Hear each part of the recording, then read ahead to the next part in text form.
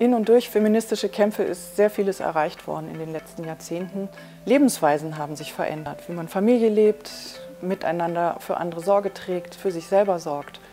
Das führt aber im Moment auch dazu, dass starke Angriffe von rechten Gegnern und fundamentalistischen Gruppen, evangelikalen, katholischen Ultras und so weiter und auch in dieser kruden Mischung von rechts und fundamentalistisch gegen die erreichten Erfolge antreten. Wir wollen gerne anbieten, dass es anders gehen kann, dass es Alternativen gibt und sehr viele Akteurinnen und Akteure, die gegen diese rechten Entwicklungen kämpfen, die gegen fundamentalistische, einschränkende Vorstellungen angehen, die sich äh, solidarisieren, die darum kämpfen, dass Emanzipation etwas ist, was sich weiter nach vorne entwickelt und nicht rückwärts.